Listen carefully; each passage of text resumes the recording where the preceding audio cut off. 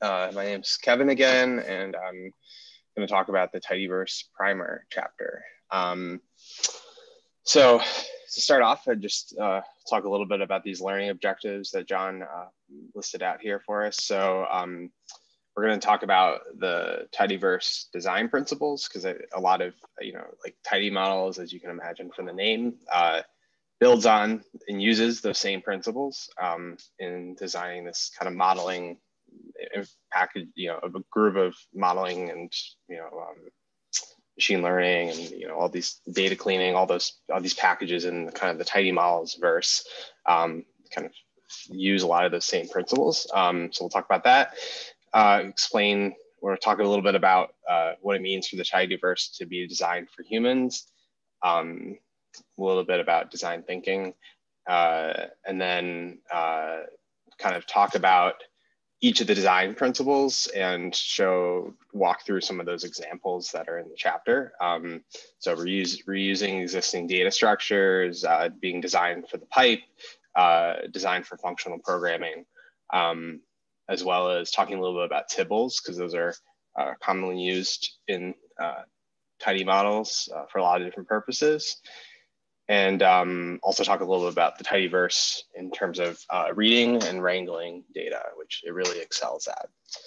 Um, so before I actually go into this, I just wanted to kind of start at tidy model or tidy, uh, the concept of having tidy data, because uh, it's kind of what all the different packages in the tidyverse, uh, uh, kind of the same type of logic, you know, that they all kind of operate under. And having tidy data, data is really uh, you know, often necessary in order to work with functions in the tidyverse. Um, so if you're not familiar with it, which I'm, i think probably a lot of us are, but um, uh, just to have a common set of understanding here, um, in tidy data, uh, each variable forms a column, each observation forms a row, and each um, uh, type of observational unit forms a table. And so I thought this was a nice vignette here because it shows a couple examples uh, where you have what's considered tidy data and like untidy data. Um, so if you can see this table here in the middle of my screen, um, you have a data frame or CSV file, right, that we've read in as a data frame um, that has a bunch of columns, uh, but um, one characteristic of this, of this table is that you have values in your column names. And so these aren't really variables. Um, they're, they're people's names that we've uh, made into column names and that that really uh, you know isn't uh, in line with some of those principles that we just talked about. And so one way of, of making it tidy into tidy data is to um, make it longer. Um, so a lot of the time tidying up data is moving from wide to, to longer um, using uh, often these pivot longer functions. Um, uh, pivot longer function. So as you see, a, a, kind of tidy version of that data set, right, has a name column, um, the assessment they took, and their grade. Um, so every column now represents a variable, um, and every uh, row, it, you know, is a combination of those variables representing an observation. Um, and so pretty much any set of uh, any package you use in the tidyverse will uh, you know, it'll make your life a lot easier if you have data in that format, including something like, you know, plotting um, your data in ggplot. Um, and so, um, and so, yeah, and, and just one note is that when I started learning R, uh, I was told to use base R as much as possible. And I really did not like R for a while with, with that kind of advice. Um, and, uh, and I started watching David Robinson's talks about the Tidyverse or Tidy Tuesday, sorry, and um, and he would kind of walk through his code and his process without ever seeing data and kind of explore it and model it in, in about an hour. And um, and I was just blown away by you know the process in with tidyverse type packages of of basically moving from an objective and thoughts about what you want to do into action with uh, you know implementing it in code and the tidyverse really makes that I, I think pretty seamless. Um, so um, one of the uh, main design principles uh, in the tidyverse is this idea of designing for humans. Um, and when I think about this, it comes back a lot for me as a process to design thinking. Um, so if you're not familiar with it, just basically it's an iterative process of, of you know, if you're trying to build something for someone, you want to first kind of understand where they're coming from, understand their uh, experience, um, their successes and challenges, their, their goals, their their knowledge about what they're doing. Um, and then you kind of, with that in mind, define like a problem statement, brainstorm solutions, test them, and iterate through those tests until you have something that is helpful for them. And and part of that, when we're talking about like programming, um, is like um, uh, you know, or, or, the kind of consequence of that process in programming is, is how do you set up a language in terms of the syntax, in terms of how you name functions. Um, and ideally, you want to make kind of that process of going from thoughts to action and code as seamless and frictionless as possible. Um, and so uh, one reference that they had, and I was looking through the Tidyverse uh, book that I, I link at the end of the chapter here, um, this review in this further reading section, um, that talks about, they talk about this idea of Norman doors. And so if you have a chance later, I would, well, it's like five minutes, I would watch it. Um, but the basic idea here um, is uh, is that there's things in, in the world like uh, doors, uh, oftentimes where you you think that they that you're supposed to do one thing based on how they're designed or that they're capable of doing something then you go try to do that thing and, and it doesn't work out. And so uh, with doors a lot of the time and actually i should have taken a picture of this because i was in a coffee shop uh, like last friday and on the way out there was a door that said uh, had a post-it note on it that said push here um, and uh, and kind of deep in, in this idea is this uh, concept of affordances from uh, this branch of psychology uh, called ecological psychology. But basically, when you when you have people in the in the world doing things, right, how things are designed um, kind of uh, affords people certain actions with with those objects in the world. And we're talking about programming a lot of the time that uh, that is represented in like the names of functions. And so um, ideally we don't want function names that like um, that suggests something that's like the opposite, right? Uh, uh, about what it can do uh, as compared to what you can actually do with the function. Or, um, you know, a situation where there's not descriptive, um, where you don't really know what it's supposed to do just based on reading the function name and the code, some sample code. Um, and so when we're talking about uh, the Tidyverse, that the, the, authors have tried to incorporate a lot of these like, kind of human-centered design principles in, in, the design of these uh, packages. Um, and so a common data set that people talk about is this mtcars data set. You can you know, load it and you know, use it in any um, RStudio uh, or R session that where you load the Tidyverse. Um, it's just basically a data set of, of cars and information about those cars. So uh, miles per gallon, uh, uh, horsepower. I actually don't know what some of these are.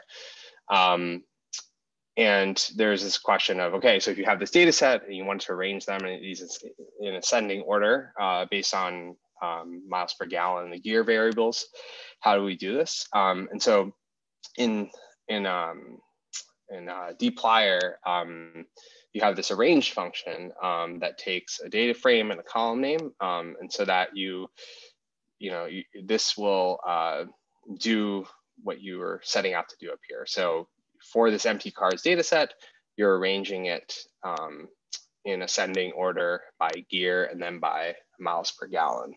And so if you ran that, you would get uh, kind of a reordered uh, data frame. And so, so this example kind of shows it shows an instance where you have a name of a function that's descriptive and explicit. So just from the name arrange, you kind of get a sense for what you what you can do with it, um, what the what it, it affords you, um, and oftentimes a lot of these functions are verbs. So we talked a little bit a second ago about like pivot longer and pivot wide, pivot wider um, from the tidyr package, right? Like it's telling you what you can do with it, what you can do with the function instead of some kind of abstract theoretical name that doesn't really give you a sense for what like what actions you can take with it. Um, so um, another uh, uh, concept from the design principles is this idea of reusing existing data structures. Um, and so in the tidyverse, you're most often like doing things with, with data frames or tibbles. Um, in uh, tidy models, one example of this and, and one neat, interesting or helpful thing about, about uh, tibbles and data frames is that you can have list columns. And so there can be columns that are actually um, lists of, of data frames. Um, so you can have like data frames in data frames. And it's just really helpful for a case like this where you're generating um, bootstrap samples. So you're kind of just like generating a bunch of samples that are randomly sampled from your original data set. Um, uh, for something like like model tuning or training. Um, and each uh, each uh, row here uh, is actually um, uh, a data frame in, in, of itself. So each split, um, so that you can then use that and just like run a model on it and uh, evaluate your results. Um, and then so in, in this case, it's a the class is a bootstrap class for this um, for this uh, uh, data frame here. And once you do things like training and testing, uh, where you're kind of pulling out, you can you can use those functions on that type of uh, that this data frame of a bootstrap class um, in order to uh, generate your test and training sets and things like that. Um, let's see what else. Okay, that's good for now. Feel free to stop me at any time. Um, okay, and then another principle uh, the tidyverse is that most all the functions are um, from these different packages are designed with the pipe operator in mind. So the most important thing to know about the pipe operator is that it uses the value of the object um, on the left-hand side of the operator as the first argument on the operator's right-hand side. Um, so oftentimes you have a, a, data frame and you're kind of manipulating it in a few different steps. And each time the updated uh, data frame object is passed to the next step as the as the first argument of the next step. And so in this case, you have that you have the mtcars data set. Here, it's implicitly passed. And so the data argument that we saw a second ago for the range function um, is uh, passed via this pipe. Uh, and so in this case, it's the mtcars data set. Um, and then you're arranging it by gear. And then again, once it's arranged, uh, you're passing that updated data frame to the first argument of slice, and then you're just taking the, which takes the first 10 rows of that arranged data frame. Um, all right, and then this point here that uh, this approach with the pipe works well because uh, all the functions return the same data structure. Um, and that doesn't necessarily have to be true, um, but it often is. Um, and then yeah and then whenever possible these these functions uh, can be you know in the tidyverse should be able to be incorporated into a pipeline of oper operations like this. Um, oh and i wanted to um, show one example. Uh, sorry i had it up and i uh, had it on my twitter. Um, but uh, i thought th this is a really great example of like why piping is useful. Um, so if you were to have a kind of a sequence of events where you're you're the kind of the data object um, and you were wanted to go through the steps of like waking up getting out of bed getting dressed and leaving the house if you didn't have piping you would have to have this really ugly um, kind of nested uh, arrangement of functions where you, the first thing you want to do is on the innermost layer and then kind of like work at your way out. But if you have pipes you just kind of you do one operation, pass the updated object to the next step, and then it's it's much more readable. Um, and that's a kind of a general point about the tidyverse that I thought was interesting from rereading some of the tidyverse book. Um, was that yeah. uh, was that uh, you, that sorry? Can you share the link for the tweet? Someone is asking. Um, can you share the link for the? Oh, sure. Uh, yeah, sure. I can do that right now. Um, Thanks. Sure. Um, okay, maybe I'll, oh, okay. I lost my chat window. Let's see. Here we go. Okay. Um, great. Um, and so that was actually a really interesting point I thought from the tidyverse book was that they talk about like first they want it when they're designing a new function or you know, you know some kind of new um, functionality of a, of a tidyverse package.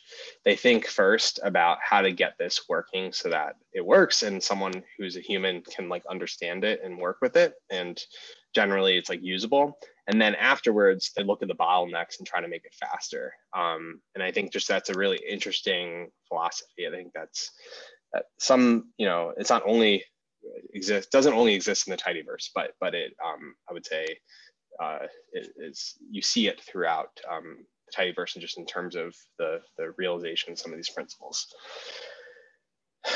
Okay. Um, so another uh, aspect of the tidyverse uh, that we'll use a lot in, um, I think, in, in Models framework is this idea of functional programming.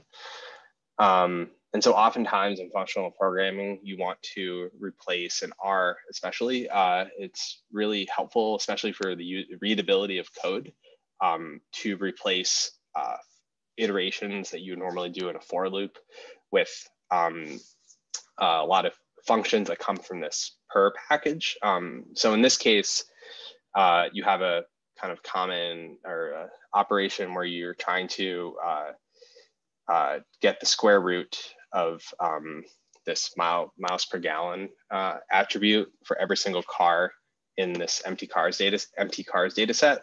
And so in this case, you're just going to do that for as many times as there are um, as many times as there are rows. And um, and yeah, as you saw before, each row represents uh, a car. Um, and so one way you could do that is by like initializing an empty vector that's the length of the number of rows that you want to do this for um, and then just um, kind of indexing it and assigning the value as a result uh, based on what row you're on. Um, but uh, another way you could do this is by defining a function, uh, in this case called my square root, where it takes a, a, miles per gallon and a weight. So in this case, the weight is two. Um, and outputs, you know, the, the results uh, for your square root function.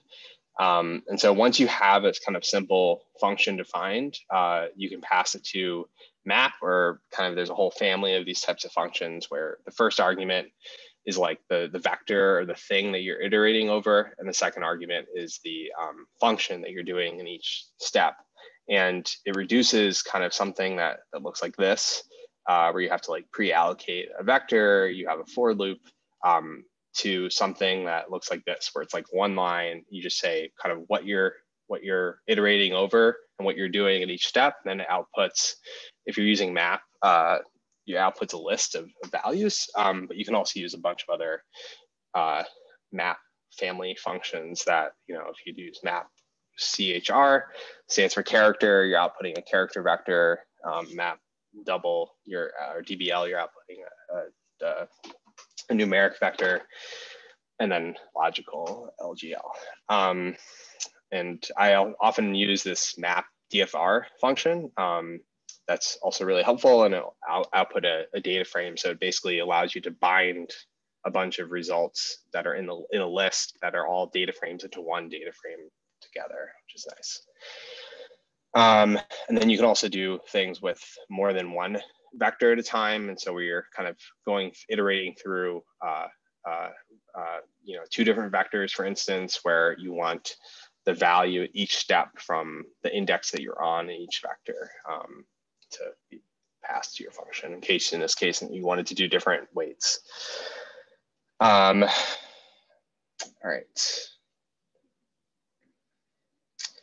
Okay, and so tibbles are a lot like data frames, but there are some um, differences um, that we talked a little bit about in this chapter. Um, so uh, one example is that tibbles work with column names that aren't syntactically valid variable names. Um, and so in a data frame, if you have like spaces in your column name, it'll just add periods instead of those in place of those spaces uh, because it doesn't like variable names that have uh, spaces in them if you were to do that with Tibble, um, it just kind of gives it to you as you gave it and it works. Um, Tibbles also prevent partial matching of arguments. Uh, this can be a common source of errors. So like if you're using a data frame and you have a column named partial, if you just write df part, it'll kind of guess that you're trying to refer to df to, to the partial column name. Um, but uh, but if you're not, you know, or if you have code where you made a mistake, like that could lead to an error if there's like multiple names that like are similar in some in kind of how they're spelled, for instance. With Tibbles, it actually just gives you a warning and a null result if you do that. It won't do partial matching. Um, Tibbles also prevent like dim dimension dropping. Um, let's see, sorry. So data, a single column, never return a vector. Um, I see. So uh, with uh, data frames, if you subset um, a column, you'll get a vector of values. With the Tibble, you get a if you do that same thing, you get a Tibble in return. Um, uh, so it's not going to change the data type by indexing a certain column. Okay, and then you can also have list columns in Tibble, which we just talked about. And a lot of the time, this is useful for uh, purrr type functionality where you're you know, you're applying a function to a list of data frames. Um, sometimes you like you've trained a bunch of models, you put them in the list, and then you use you can use purrr. Oh, we have kids here. you can see them over there. Hey Ella, I'm giving a presentation, so uh, sorry. Um, okay, let's through this. Okay. All right. Um,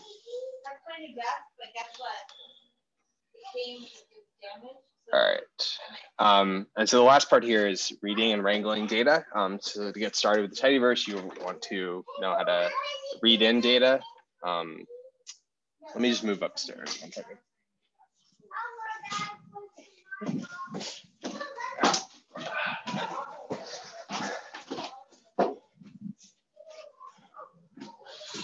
All right.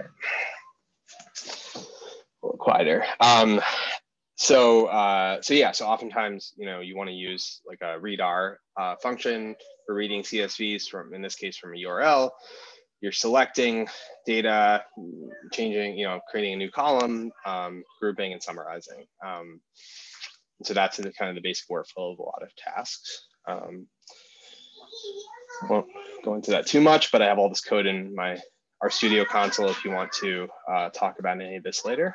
Um, and so I also listed out um, some of these uh, things that I think are related or helpful for this chapter. Um, this is referenced in the Tidyverse uh, book as well, but the design of everyday things um, by Don Norman um, talks a lot about uh, uh, this design thinking concept and the idea of um, of uh, you know like how to build things that are useful to people and that that fit with how people are do do things in the world and think rather than just like um, exist as unusable objects. Um, super interesting.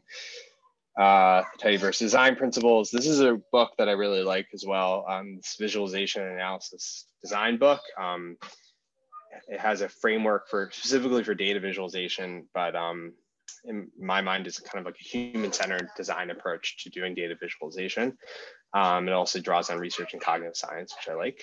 Um, and then from the Tidyverse design principles, chapter two, um, they talk about these three kind of influences on the Tidyverse design philosophy. And so you have the Unix philosophy, the Zen of Python, and this other link about, I guess, a language called Smalltalk, which I'm not familiar with. Um, Okay, and then uh, I would suggest working through some of these, just reading through. I thought it was pretty interesting. I've never seen some of these design guidelines of these other languages before. Um, and you'll see a lot of this show up in some of these tidyverse principles. Um, like I'll just pick out one here that I think is interesting. Um, where is it?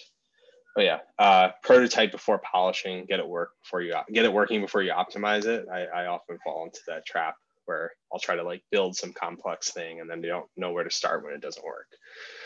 Um, but but I thought those were good reads. Um, and yeah, so that's it here. I had an idea about talking through some of the some future tidy models code um, with these principles in mind, but um, does anyone have any questions or comments uh, based on what I've presented?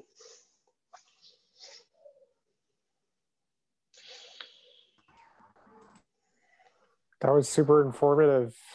Thank you. Cool. Thanks. Yeah, thanks um, a lot. Um, I, I, had a question. So in, in the chat, talking the um, using the double colon for namespace stuff. So oh, in the yeah. example there, it uses it for dplyr and you know readr stuff. How how do you feel about doing that? Do you always do it? Are you mm-hmm. kind of religious to it or not very much? Um.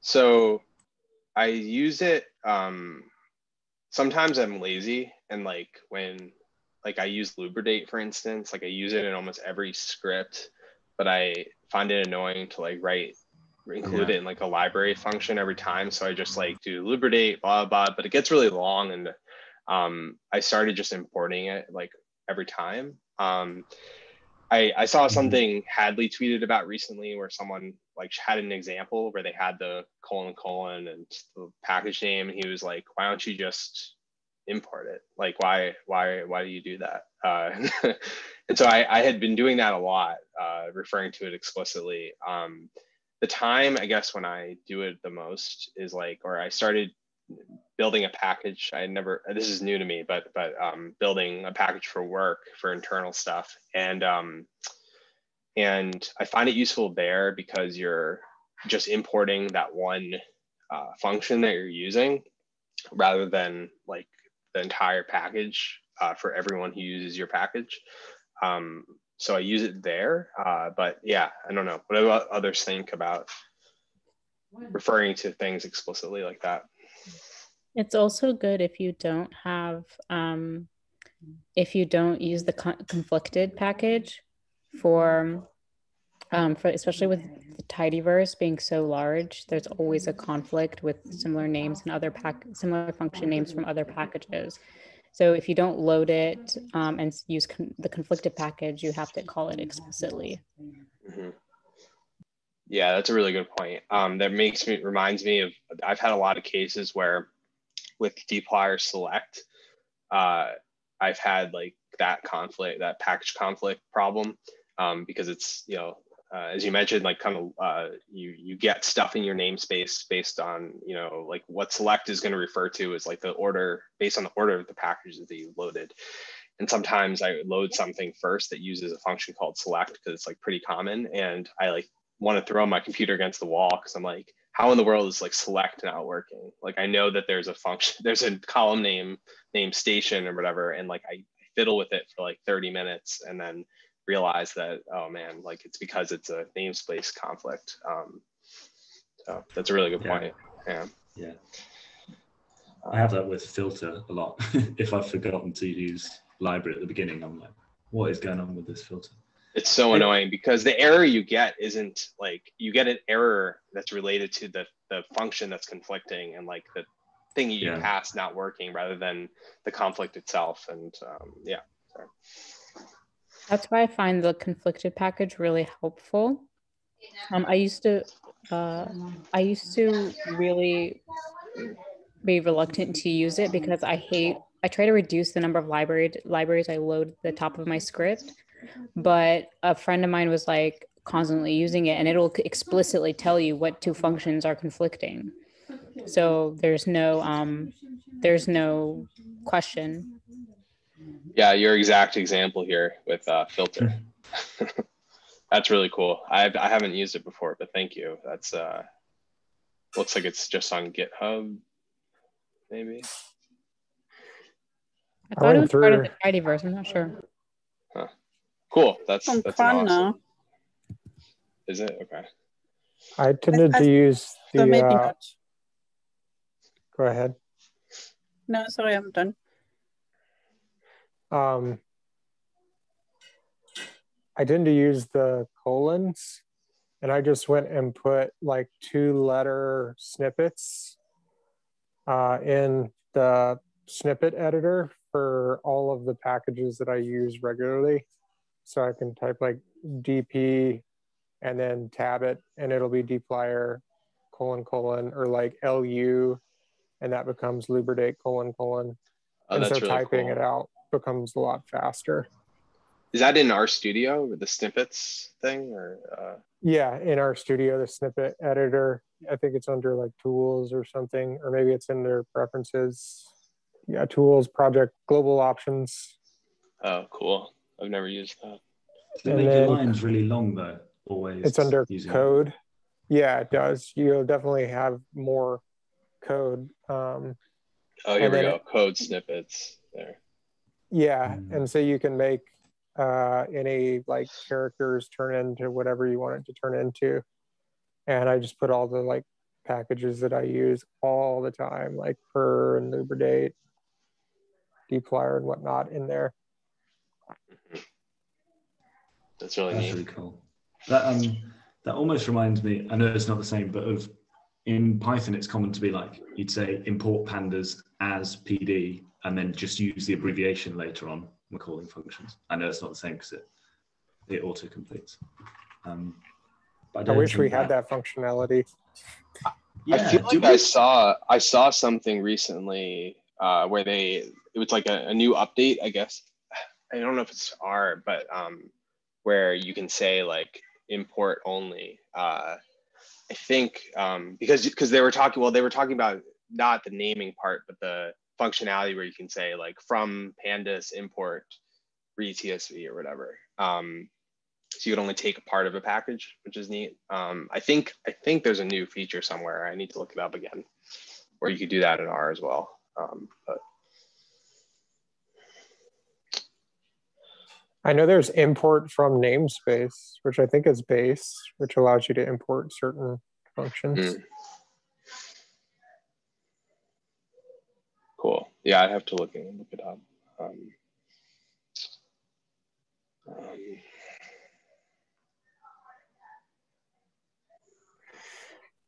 Does anybody here actually prefer base to the tidyverse?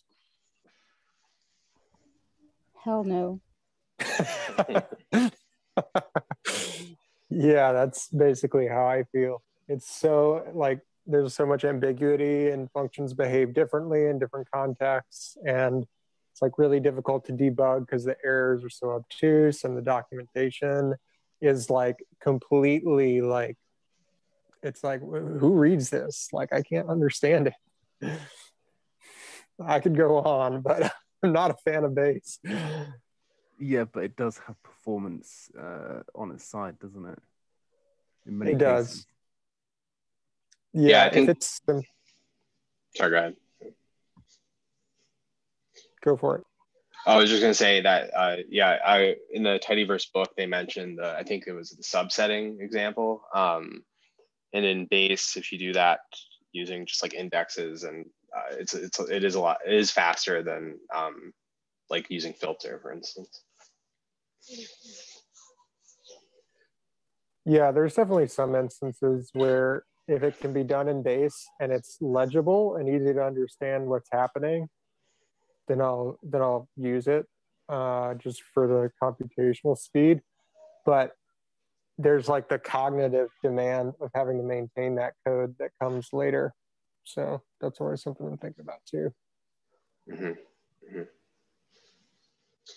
Yeah. Um, speaking of cognitive demand, this is something I've thought a lot about recently with um, and with respect to functional programming. Um, I started looking into this package called Targets. Um, I don't know if you guys have seen this, but it basically allows you to make. Oops, that's not what I want. um, allows you to make like uh, like pipeline kind of workflows in your analysis projects. Um, uh, this isn't a good example here because it doesn't have a diagram. Um, sorry, but but anyway, um, like it kind of really encourages you to make kind of each major step of what you're doing in an analysis a function that kind of stands alone, um, and then um, and then you can like create a pipeline that that you that has like you can branch and do all kinds of cool things with it. Um, but I find that doing that and kind of just the idea of, of trying to make a bunch of steps like chunks as functions really helpful for like the cognitive load aspect. Um, kind of just just kind of thinking about a portion of your code and like one function that has a clear name uh, makes I don't know. For me, it helps me kind of think through what I'm actually doing. Um, yeah, I've recently started doing that. Like whatever logically comes to me as the next step, you know, which is usually broken down into like eight or nine steps when you actually write the code, is like writing a function for that. And I'm wondering how, like, how does target our targets uh, encourage you to do that? Like, what what does it do to to facilitate that? Yeah. Um, so it's a lot. I don't know if anyone has used Drake. I, I didn't use Drake before, uh, but it's it's it's kind of the successor to it. Um, I'm trying to find uh, this. They have this some really good examples, but right now I'm not clicking on the right thing. Um, this might be. Uh, here we go. This is better. Um, so basically, you can. It, it allows you to. Um, okay so uh, you have each of these step, or let's see, each of these steps is either uh, like a, a function or like some kind of data object. Um, and uh, and you basically the end result is a pipeline like this that you can run. And if you update any piece of the pipeline, it knows what to rerun that that's been updated and everything that depends on it based on like your this tree here. Um, and in order to create that, uh, you basically, uh, sorry, um, hmm. you create a bunch of targets. And so like here you have a create plot function that, that's like one target. And, um, and you say like what the name of that target is and what the function is that, that um, and then based on like what you're using as an argument in each function, it kind of knows what your kind of dependency like tree looks like. And then if you've like you know updated your histogram code but you haven't updated raw data or data or raw data file then it'll rerun it'll only rerun the histogram code um, with kind of a uh, it saves like a serialized version of all of these steps um, in the environment so that it'll only rerun this and it'll be like super fast um, but but yeah i've just started like looking into it but it um anyway uh, kind of interested in that idea or talking about functional programming. And another cool thing is that you can, it'll allow you to like run things that aren't dependent on each other in parallel. Um, so that, so that you can like run these two things at the same time uh, without having to wait on one, even though, but, but it doesn't really depend on, on fit, right? Histogram is just like, it, they both just depend on data. Um, so that's interesting. That sounds super useful yeah i i find myself like either writing super complex scripts that like just have everything in them and then i end up rerunning a lot of stuff just because i don't want to think about it again um, uh, and don't want to think about what i need to rerun and what i don't need to rerun um, uh, but but also like and in that process i end up doing something expensive like repulling a ton of data that i should just save and then use in a pipeline and if i update things just like remake the pipeline. Like I, I think that's a really cool idea. Um, so yeah, it reminds me about how R Markdown, like when you knit, it like caches all the different things and then it watches to see which ones you changed and only reruns if it needs to. Mm-hmm, mm-hmm. Yeah, I think it's a similar idea. Um, yeah, one thing I wanted to ask you all when I was going through this is like, in your programming experience, either with R or the different language, like what are some cases where, if you have any examples where you've like run into uh, like a case where either something was super unclear about what you could do with a certain function or script, or um, or did something that you, and you thought it should do like the opposite of, of what you like. What basically what are like this Norman door idea, what are some of those examples, if you can think of any in, in your own programming experience? Mode, of course, the hmm. infamous mm. mode. yeah.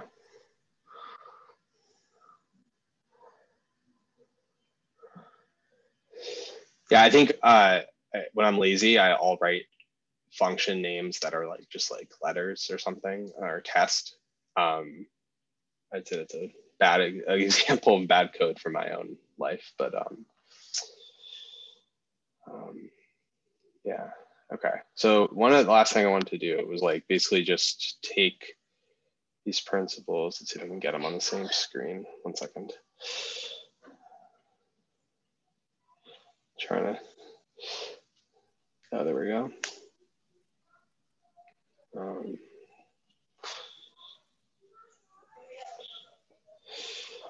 all right.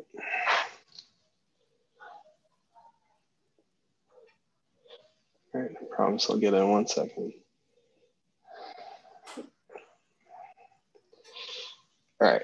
Um, so this is just code from later, uh, chapter eight actually, but I thought it'd be interesting to kind of look, take a look at a complete, somewhat complete pipeline of like going from data reading to um, in tidy models to uh, fitting a model and like how or how not are these principles exhibited in this code on the right. Um, can you all see it? There's it too small.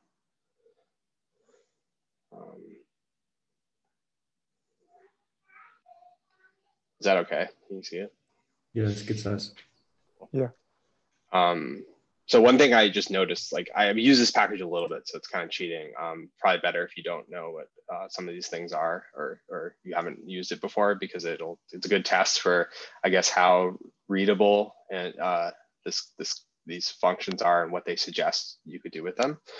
Um, but one thing I think I see a lot in the Tidy Models package in terms of compose, uh, composable, uh, or no, sorry, uh, it's not even here. I was thinking about extendability. So like being able to link up to other packages in the in the R or Tidy Models universe. Um, is this uh, set engine argument here. And so like a lot of the and with tidy models, if you're defining a model, you have some kind of a function that you're using, and then you can utilize like other packages within uh, the tidy models ecosystem or our ecosystem as like kind of the back end that's like actually implementing that function.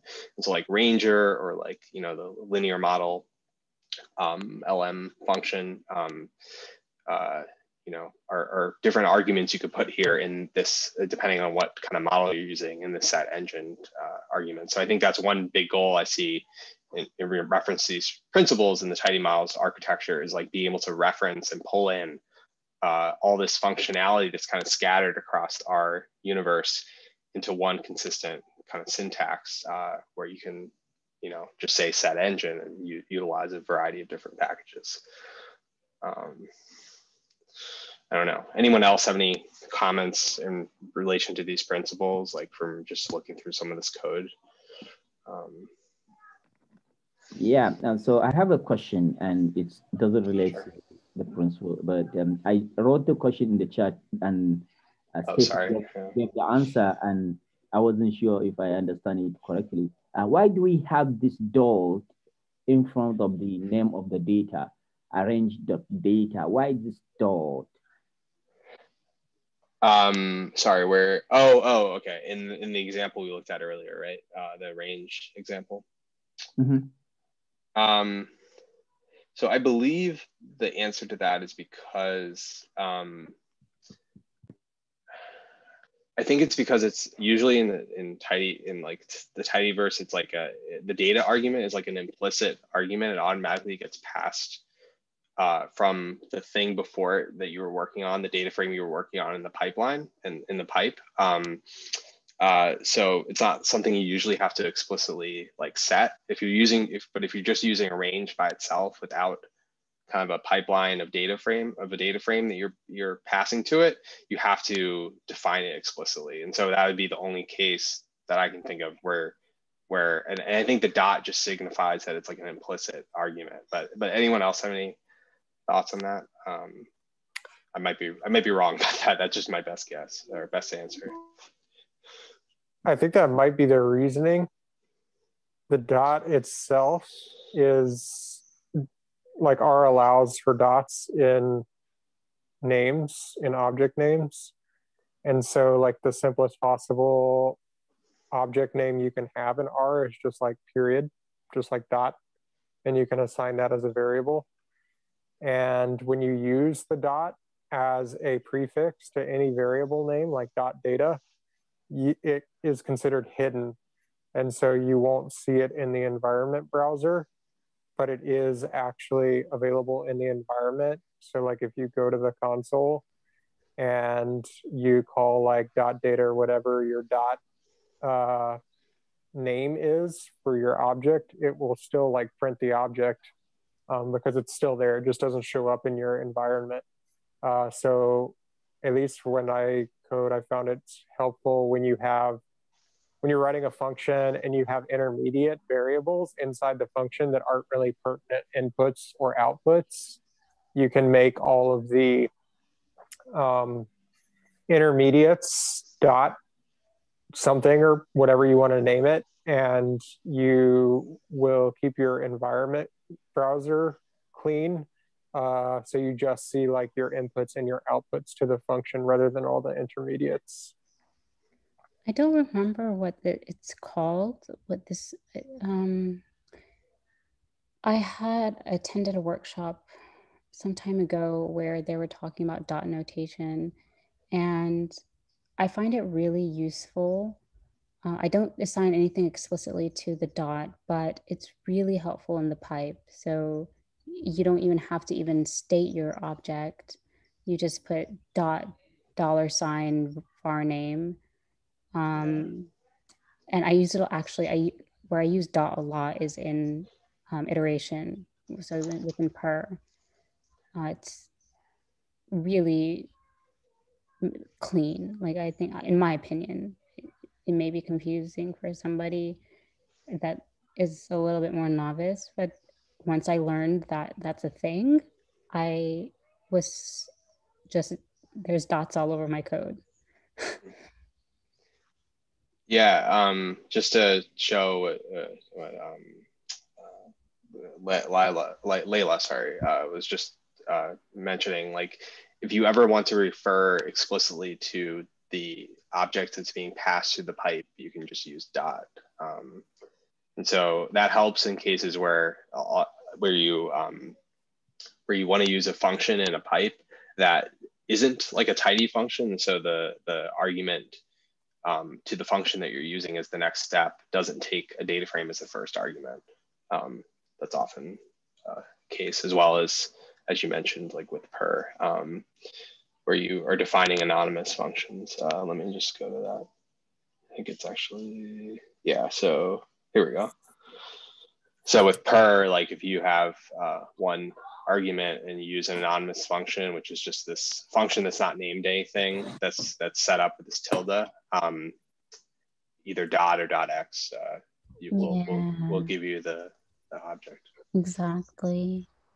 Um, okay, so I know we just went over like a tidyverse primer for for all you smart tidyverse people in here. So um, when I'm teaching, is it safe to say that in by design a typical tidyverse function will always have your dot x which is your data object as the first argument and then followed by and then i can just say dot dot dot like subs like whatever um, relevant actions like the funk part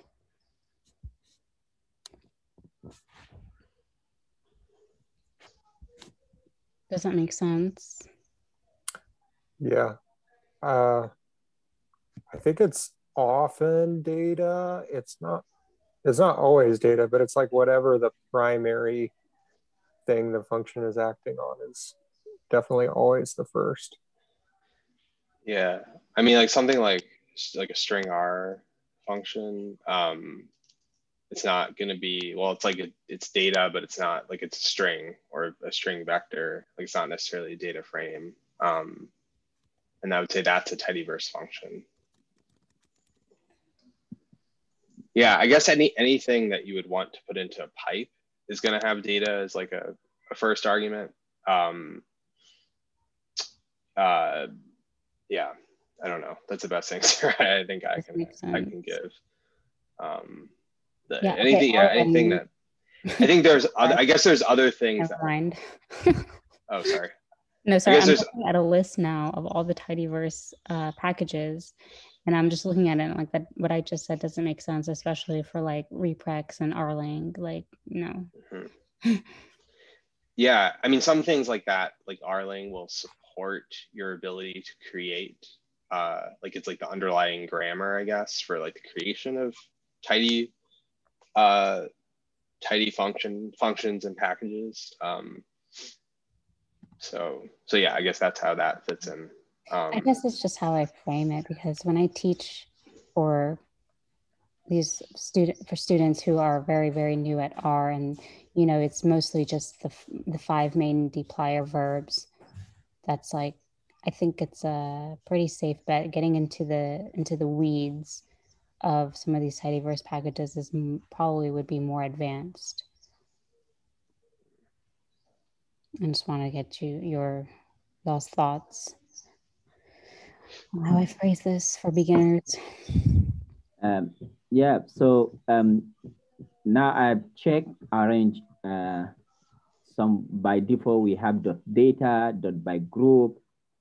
Um, currently still, I'm not yet fully understand the dot. Here. We have dot data dot, I mean, why this dot? Can please can you run maybe a little bit example to show why do we have this? And not really get understand why we have these doors and if for instance is it the same if i have arranged i put data equals x without a dot and by group without using dot is it the same? Why do we use the dot if they are the same so and i think in the case of arrange like the dot is part of the argument name so if you just did uh, you just wrote data, uh, I don't think that would work. Um, yeah, I, th- I, think that's right. I I think it's it is it is tricky. I and I I don't I don't find it the most intuitive. For example, that map statement on the left, I don't think it looks that sensible. Or that we're talking about cognitive load. I think for me, I have to have to spend a while working that out. Um, I think it might be simple to think of the dot as it's it's something that you don't need to specify because it has a hidden argument already, as in it has a default position. And that's just the tidyverse way of if they say they put a dot in front of it and it's part of the variable name, that dot. And it's just saying you don't need to specify this each time. There is a default value. But I don't know that that's true. I'm just thinking based off that example of dplyr. Yeah. Uh, it doesn't necessarily mean there's a default value for the variable. Um, it, I think it sometimes, I think like Kevin said, is because it it's a thing that gets piped in. But I mean, like for map and everything, they all have dots. I think it's just a convention um, for keeping the namespace segmented into uh, function or like objects that are dot and kind of hidden and objects that are uh, visible or like otherwise. I'm not i'm not exactly sure internally why they chose that convention but another another case where you often or i see i, I use this bind rows function a lot. I just like this is not a real object but if, if you had a list of data frames and you want to turn them into one you can use this bind rows function. And like um and the id argument here where you say like what uh what you want if you if you want an id column that like is the name of um each object in that list um you can use this dot id argument and you could say like whatever uh user if it's a user for each data frame. Uh but yeah this is also dot here. Um so I don't know. I, I don't I don't know if there's a general. I'm not really sure what that convention is, to be honest. Um, in this case. Um, you can also mm-hmm. use the dot in a uh, as Layla was saying, like in a pipe. If you want to create a segment of the pipe that uses a nested function structure, because that's the way you think about that step. You can use brackets in the pipe and you can use the dot to put your object that you're piping in uh, wherever you want inside of that nested function structure. Yeah, and you can also do something weird like this where you're like you're like doing something in base R that's piped through like you know you're indexing it with the dollar sign. Um, you know, because this dot refers to the data frame. Um, or you can do or you can do this too, I think. Yeah. Um, is there any way to um, um, refactor code written in base R to change it to tidyverse style? Eh, definitely, yeah.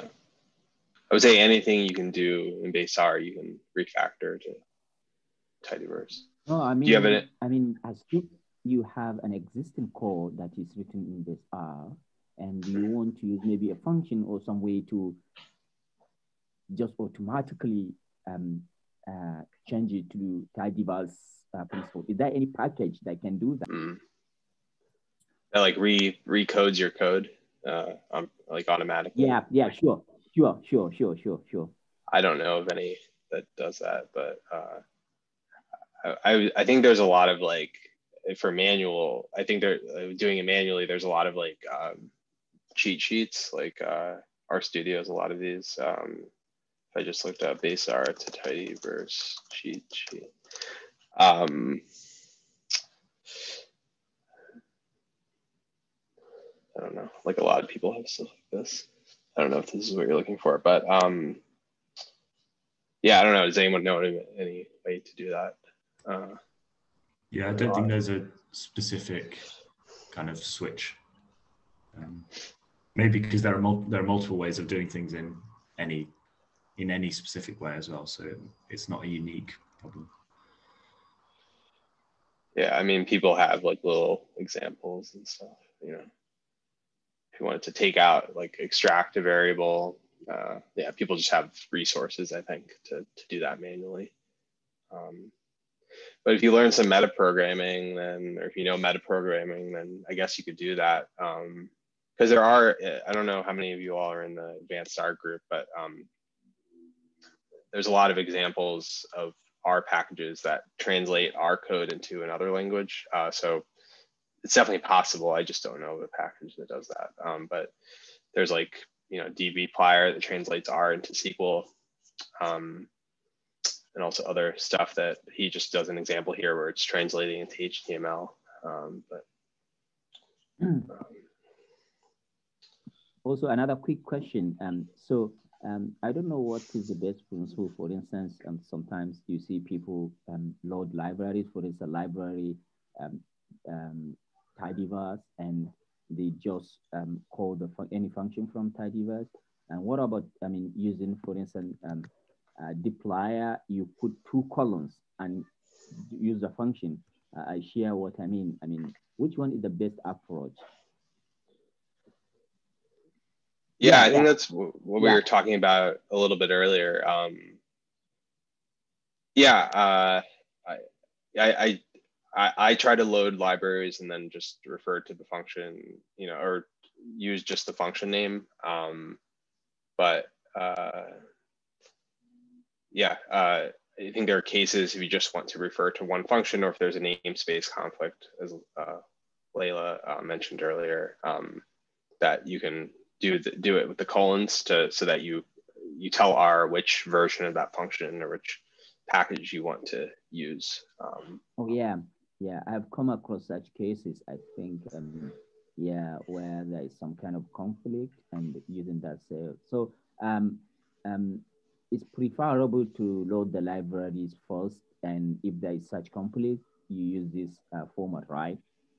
Yeah, I mean, I think uh, in my what I think about when I see code like this is I think that it, as a general principle, it's probably good if you're repeating something over and over again to figure out a way not to do that. Um, like if you're saying you're saying dplyr in front of all these functions, it, if there's a way with I guess with lo loading the library uh, first, um, you wouldn't have to do all that repetition then I would say that would probably be the preferred way to do it. Yeah. Um, in most cases, because uh, it also just it doesn't give you any new information and it kind of jumble jumbles up your code a little bit. Like like it would be it, I think if you wanted someone if you were sharing this code with someone and you wanted them to know what you were trying to do, right? I would just it would be preferable at least to me to lead with the verb that you're using instead of the um, the namespace or the package. Thank you. Sure. And I think that idea also goes back to the functional, a lot of concepts in, you know, functional programming, right? Like you don't want to repeat yourself too much. And if you find yourself writing some code over and over again, like three times or whatever, then you'll probably want to write a function and do some kind of iteration on it. Um, um, okay.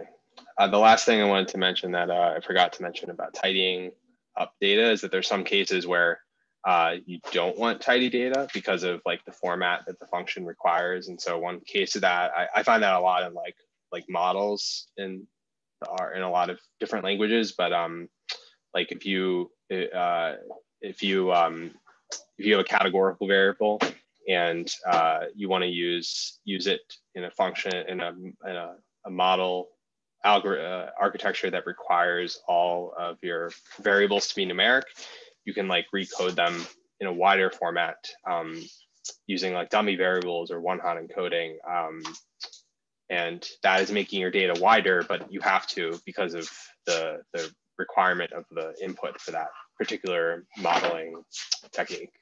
Um, so that was the last thing I wanted to say that it's not always the case that you want tidy data. Um, is one hot where you have like you're using all the data and then you're predicting on one observation? Um, so it's like if you have uh, basically if, if you have um, a categorical variable like uh, like uh, you know region or something, and you wanted to use that, you instead of having one variable called region, you would have um, uh, uh, you make a, bu a, bunch of new variables for every level in that, or every level minus one, I think, in that um, in that variable. So you would have a new one that's like east, north central, west, and just have a binary value, so like zero or one. Um, so if Got it's it. like if it is the east, then you just make it one, and then everything else is zero. Um, I believe that's the correct definition, but uh, someone correct me if I'm wrong about that. Okay. Yeah, I've seen that before. I didn't know it was called one hot. Yeah, I guess I don't quite know if there's a difference between dummy encoding and there's just it's just a different name for because in machine learning people often talk about one hot encoding and I'm not sure if that's any different than creating dummy variables, but um, might be just the machine learning term for it. Uh, that's how I had thought about it, but. Cool. Thank you for presenting. Sure. Uh,